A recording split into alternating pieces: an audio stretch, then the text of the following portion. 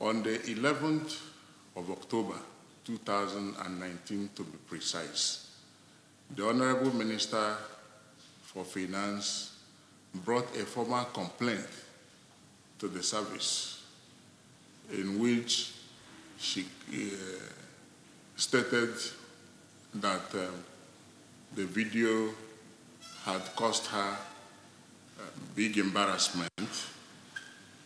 And uh, she laid a formal complaint and asked that um, an investigation be opened into that uh, uh, video, audio video, that was uh, the video and the audio and all the materials associated, the infographics and other graphic materials that were in circulation at the moment, would announce that um, it had uh, um, apprehended the person that uh, is involved. And the person who started this and who circulated uh, the materials uh, his name is uh, Kabiru Mohammed.